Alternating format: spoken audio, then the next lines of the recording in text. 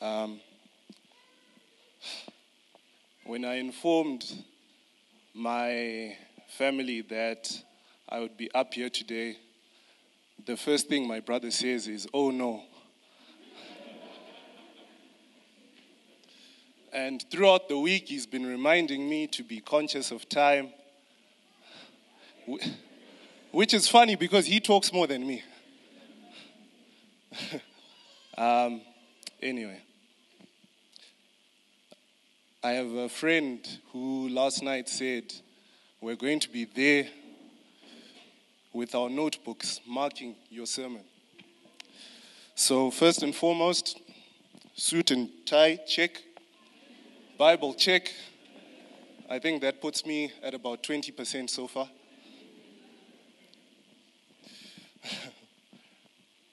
right, let's have some church. The theme for today is pain. I was given this topic in June, and reluctantly I accepted. But once I accepted, I then thought to myself, what am I going to say? And I asked myself, what can I even say about pain, you know? And I think it was last month, I was speaking to Mai Tutisani. Um, I'm always here being a pulpit manager. And Mai Tutisani says, I like the way you always tell stories. So I decided today I'll share my stories of pain. Let's start by defining pain. Um, perhaps if we can just have a few synonyms that will help us understand what this four letter word is suffering, agony, affliction, torture, torment, discomfort, soreness, sorrow, grief, heartache, heartbreak, sadness, unhappiness, distress, and misery. Thank you. Does anyone here resonate with any of those words? Anyone? We've all been there. And there's a reason why we've all been there. And the reason lies in Genesis 3, verse 16 to 17. Reading from the English Standard Version To the woman he said, I will surely multiply your pain in childbearing. In pain you shall bring forth children. Your desire shall be contrary to your husband, but he shall rule over you. And to Adam he said, Because you have listened to the voice of your wife and have eaten of the tree of which I, have, I commanded you, you shall not eat of it. Cursed is the ground because of you. In pain you shall eat of it all the days of your life. Thank you.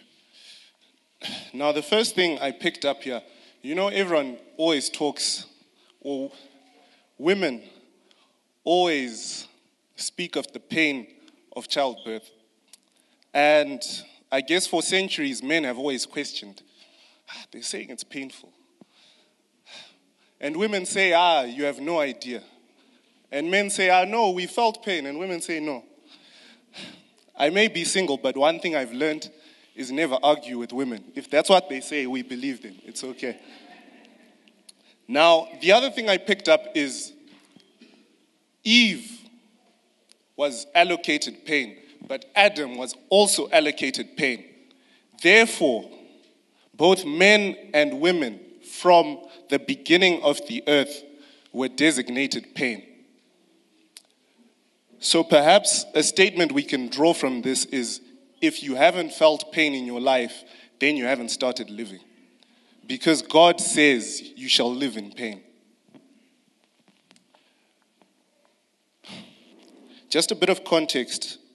When I was younger, most of the people with siblings know this. When you have siblings, you fight a lot. Uh, you argue a lot, and you may even come to fists and pinching and slapping.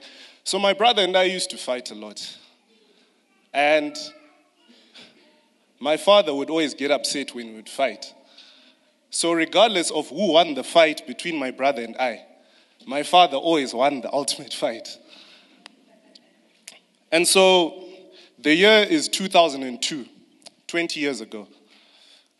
I must be old if I can say statements like that. the year is 2002. I'm in grade three. Um, it's after school. And I think my brother and I had just come from watching a karate movie on TV. So, excited by what we saw and all the moves, we decided to try them out ourselves. And so, my brother goes first, and he succeeds. I go second, and I don't know who moved wrongly, whether it was him or me, I don't know. But immediately I drop to the floor and I feel a sharp pain in my arm that I've never felt before. And I remember I'm crying, and my brother starts panicking. And it's only this week when I was breaking it down that I realized my brother wasn't panicking that I was hurt. He was panicking because we got, I got hurt through violence, which my father was very much against. So this all happened while my father's at work. And so I think my mom rushed me to the hospital. I fractured my left arm. I get a cast and everything. So now it's evening time. My father's home.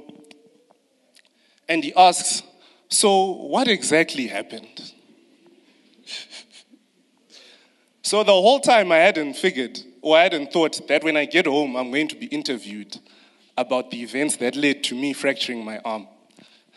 So, in the heat of the moment, I said, Ah, I was running outside and I fell. Then he says, You fell? How do you run and you just fall and break your arm? And I said, Ah, no, it was on the concrete. So, you know, I tried to explain it away. I don't know if he believed me. If he did, then I guess today is my confession. this is my confession. We were fighting and I fractured my arm. Um, but where I'm going with this, I'm speaking on physical pain. Can we just turn to John 19, verse 1 to 3? Reading from the King James Version. Then, then Pilate therefore took Jesus and scourged him, and the soldiers plaited a crown of thorns and put it on his head. And they put, a, put on him a purple robe and said, Hail, King of the Jews! And they smote him with their hands. This is Jesus. Jesus going through physical pain, being beaten, being scourged. To be scourged is to be whipped. I don't think there's anyone in here who has ever been scourged. But it's amazing to realize that Christ not only came down for the human experience, but he went through an extraordinary human experience that most humans have never gone through. Most humans have never had a crown of thorns on their head. Most humans have never been whipped. But Christ came and went the extra mile for us. Can we please read Isaiah 53, verse 3? Reading from the NIV He was despised and rejected by mankind, a man of suffering and familiar with pain. Like one from whom people hide their faces, he was despised, and we held him in low esteem.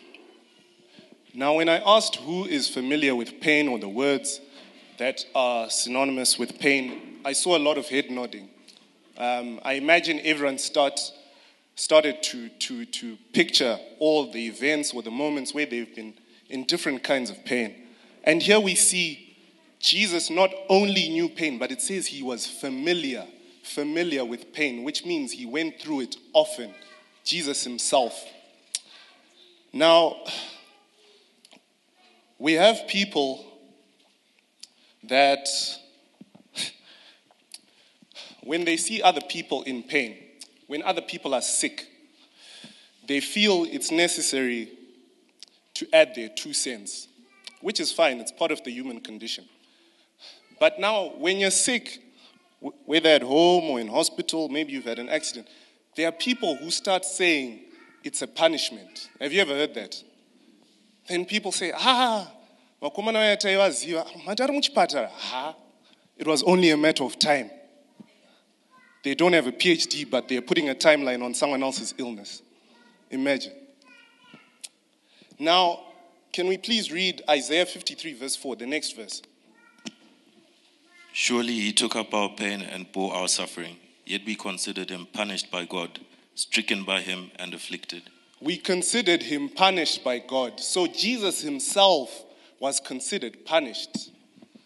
People said it. He's being crucified as a punishment. aitaurisa. He was too popular. He was taking the glory away from the temple, from the Pharisees. What we get from this, or what we should understand by this, is that pain is a rite of passage in the Christian experience. Pain is a rite of passage in the Christian experience. From the time of Adam and Eve to the time of Jesus himself, humans have been experiencing pain. Now, this brings us to our next type of pain because when people talk, they're expressing their thoughts. And so I'd like to go to a different kind of pain, a pain that we cannot see, a pain that exists within the mind. This is a pain that is all too common with everyone, but mostly these days it's identified by the youth. Have you ever heard of the word depression? Anxiety. These are things that our youth go through today. These are things that even adults go through today, but perhaps they may explain them away because of culture, other factors, which is fine. Um, but I just want to speak on mental pain. When you are weighed down, perhaps with a decision, when you're weighed down, perhaps with an addiction, when you're weighed down, perhaps with depression. The year is 2015, and I find myself in Canada for university. I had been there about a year and a half up till this point. And so I wanted to change the course I was doing at that, at that moment. And so I applied to the school to change my course. The school denies me and says, ah, we can't give you that, but we'll give you this. I applied to two other schools, same decision. We can't give you what you want, but we'll give you this.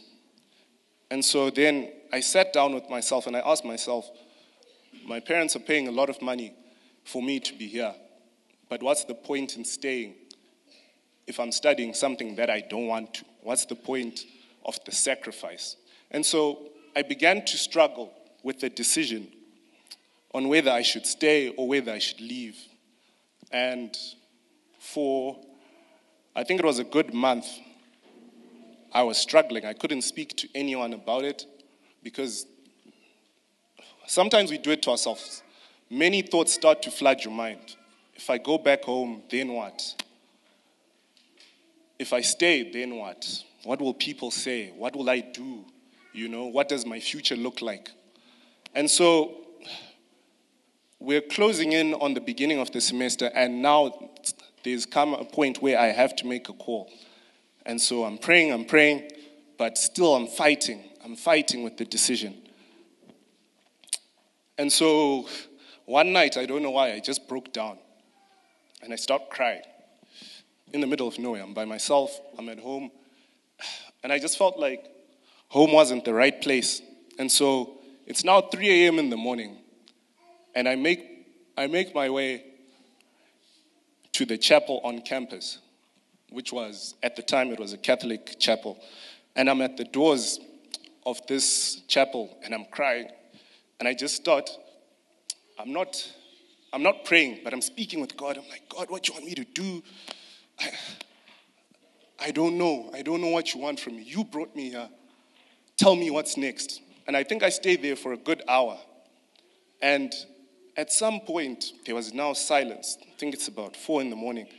And there's silence. And I start to hear a voice in my head, and it's just saying, Peace be still.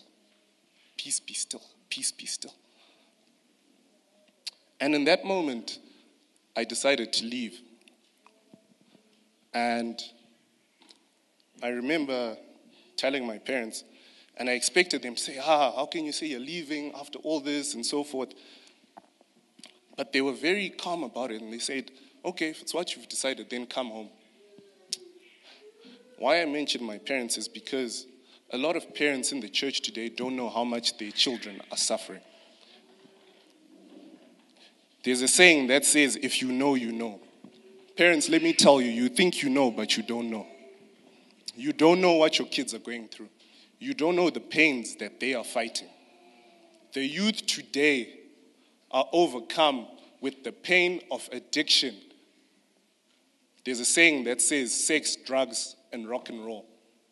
Youth today are suffering from addiction to sex, drugs, and alcohol. You might say, not my child, but it could be your child. It most likely is your child. And they are struggling. So, parents, my message to you is help your child through their pain. Do not be ignorant. If you are ignorant, you will lose your child. Help your child through their pain, please. Can we read Matthew 26, verse 38? Then he said to them, My soul is overwhelmed with sorrow to the point of death. Stay here and keep watch with me. My soul is overwhelmed. Jesus Himself, God Himself, was overwhelmed mentally. He was overwhelmed. Jesus went and prayed and He said, Father, if it's possible, take this thing away from me. I don't want it, you know. I'm sure most of you have seen this when you're faced with someone who is addicted to something. I've had interactions with people who are holding a cigarette and they tell you, I don't want this thing. But every time I wake up, I, I can't stop. Their soul is overwhelmed. Here we have members who are overwhelmed with sorrow, whether from home, from work, from relationships. We are in pain.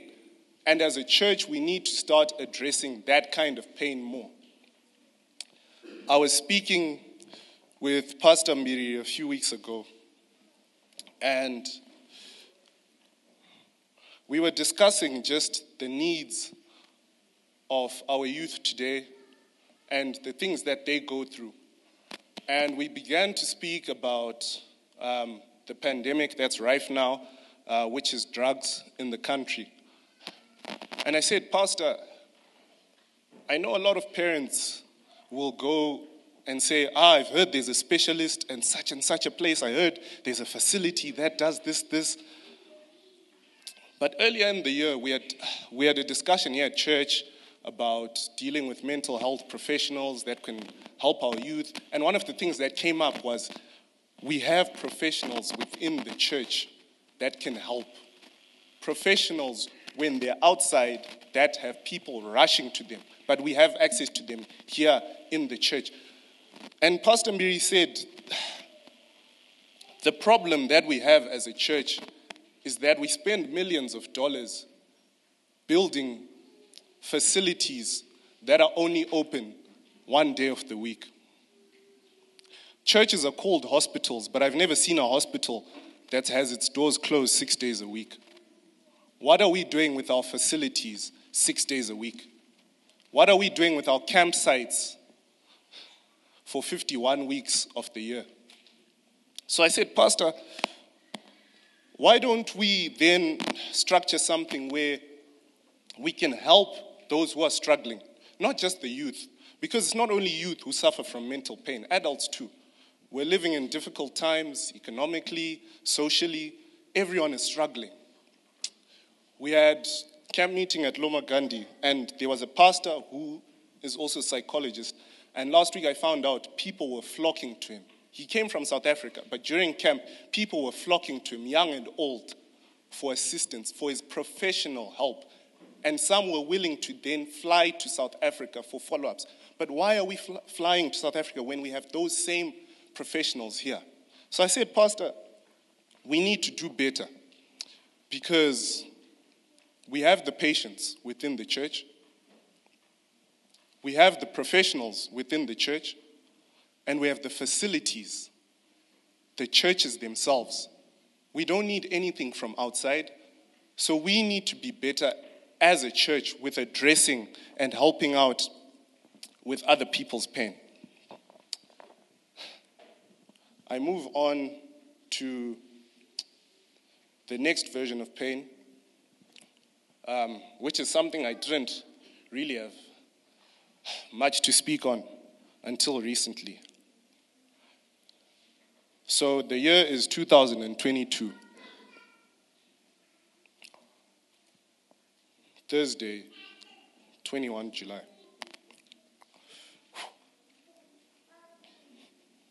And It was almost a movie like setting.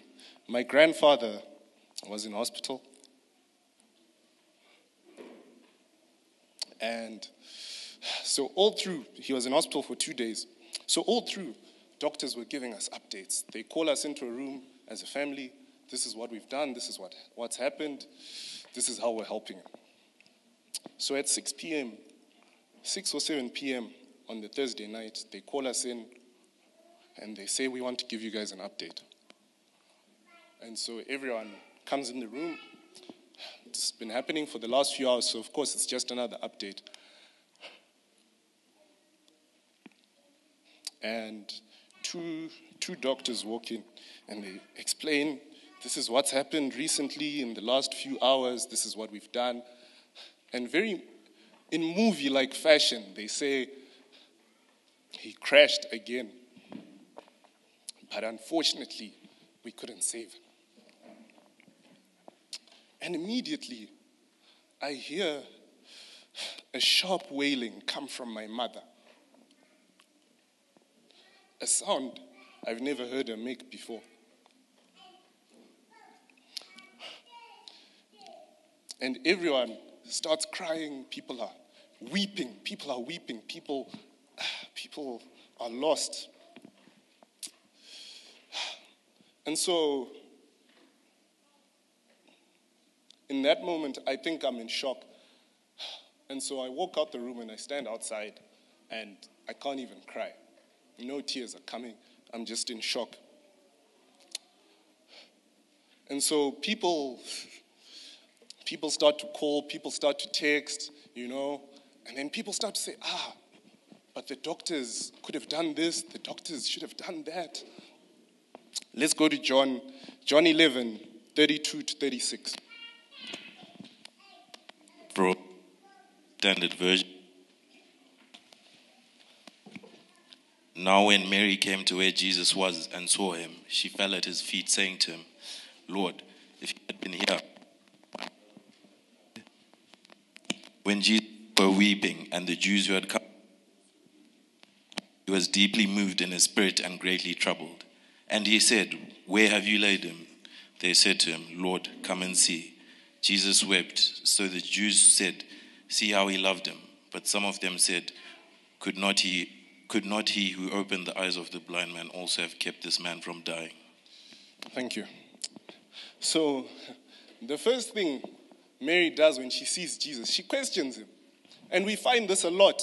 For those of you who have lost someone close to you, there's many questions that come up in your mind. What if? Shouldn't they have done this? Shouldn't we have done that? What if we hadn't done that? How many times have we questioned God when we lose someone? But what we need to realize that when death comes, it comes because God has allowed it. God doesn't deal with would have, could have, should have. God deals with what is because He is. He says it himself I am that I am. I am sent you. So we should remember God doesn't deal with possibilities and probabilities. God deals in reality because in an ever changing world, God is the only constant. So it is not our role to question his will. Job tried it. Job tried to question God, and the response he got was scary. Where were you when I laid the foundations of the earth?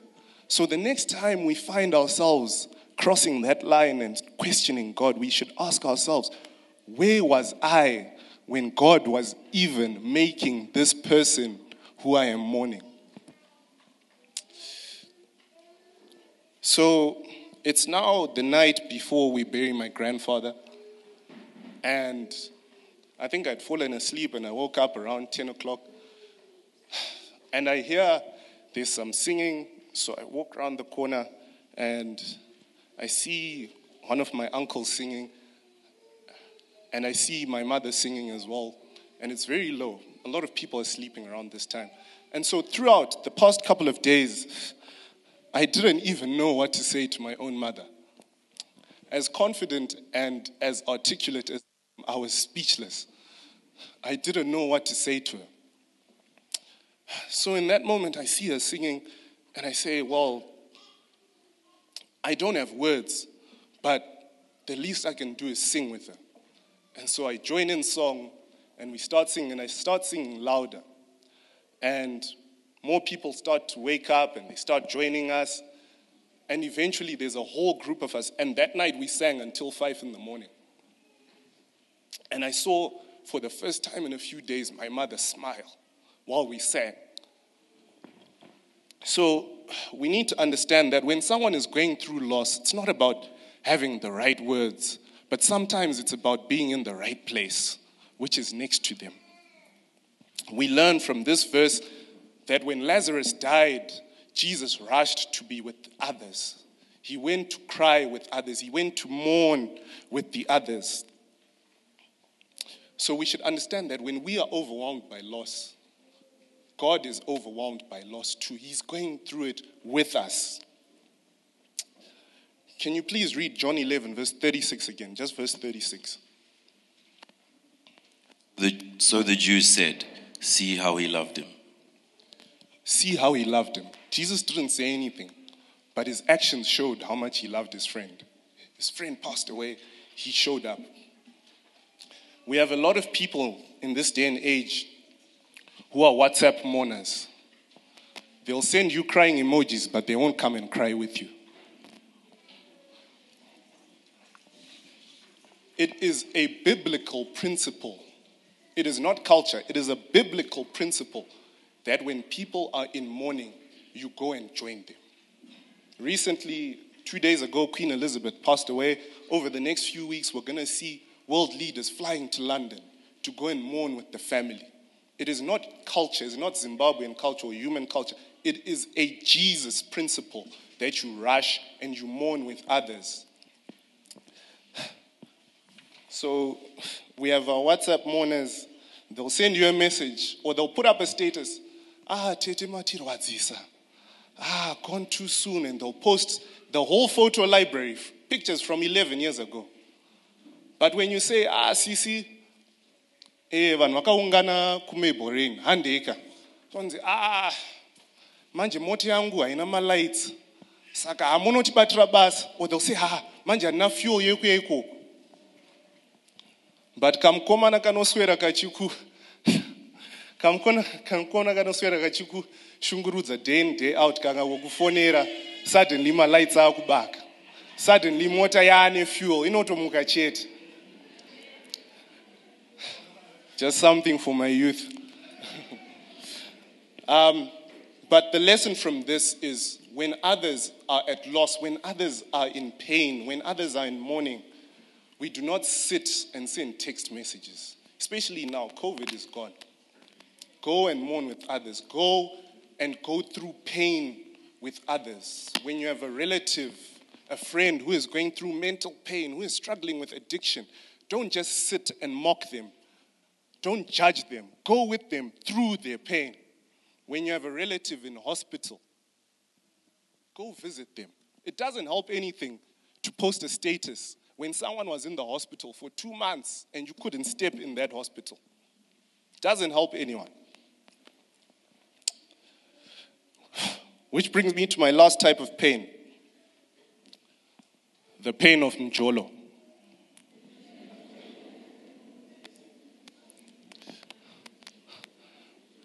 The year is. Unfortunately, I don't have a Mjolo experience, guys. I know there were plenty of people looking forward to that one. But the common denominator in everything I've outlined from start to finish is this God is going through our pain with us. He doesn't watch you, He doesn't wait for you, He brings you through your pain. And this is emphasized by my last verse, which is Daniel chapter 3, verse 24 to 25. Daniel chapter 3, verse 24 to 25 in, in the ESV version, please.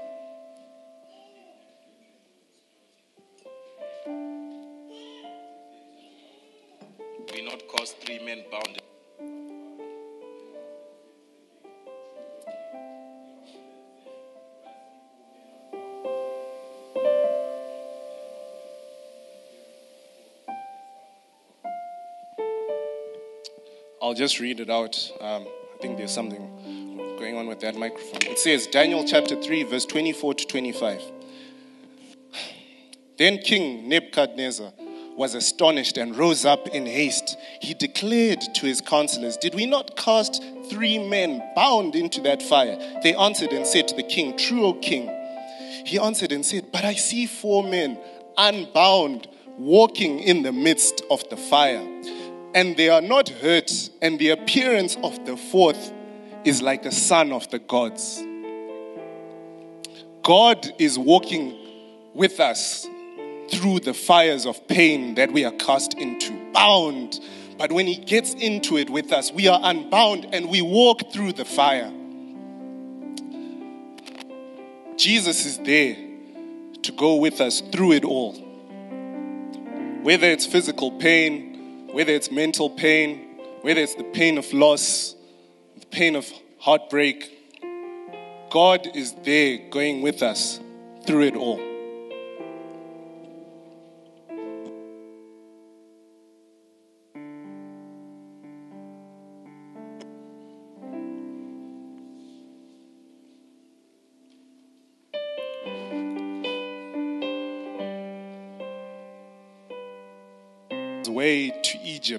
After being sold by his own flesh and blood. When Naomi lost her husband and two sons. When Hannah was tormented for being barren. When Job went from rolling in riches to rolling in dusts, When Stephen was stoned rock by rock.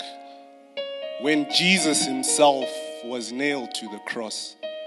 God was there through it all.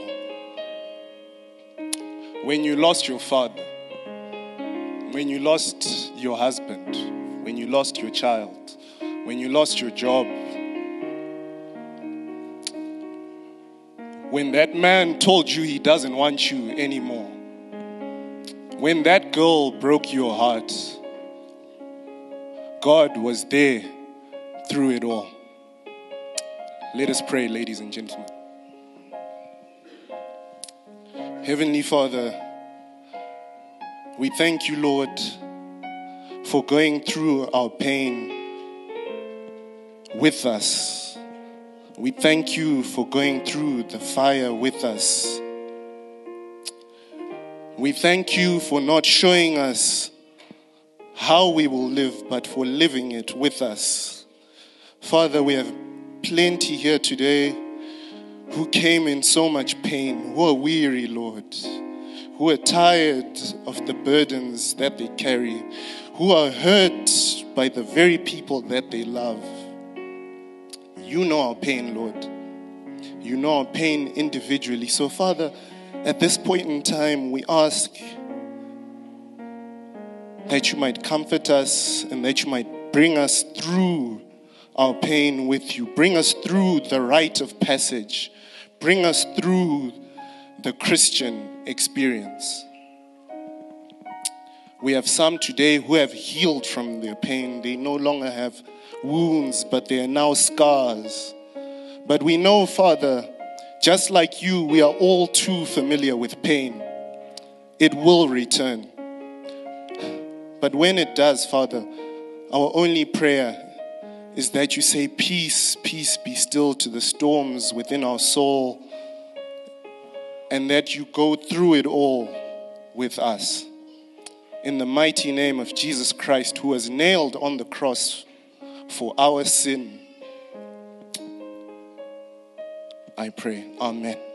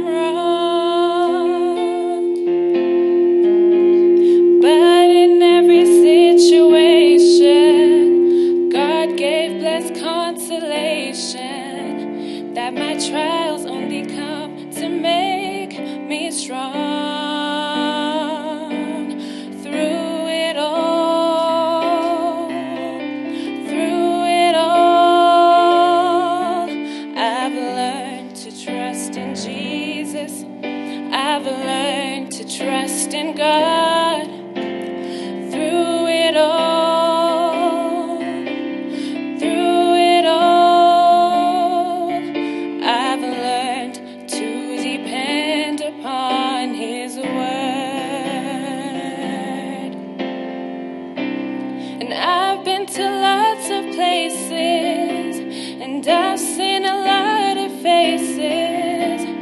There have been times that I felt so alone. But in my lonely hours, in those precious lonely hours, Jesus let me know I was His own.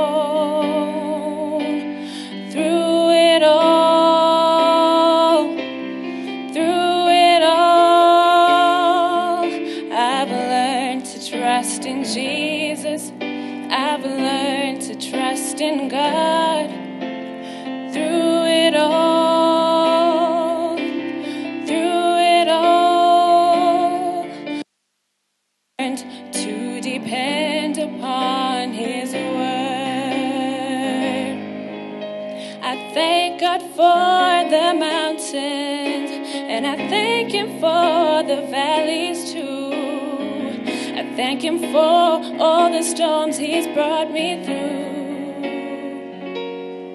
For if I never had a problem, I never known that He could solve them. I never knew what my faith in God could do.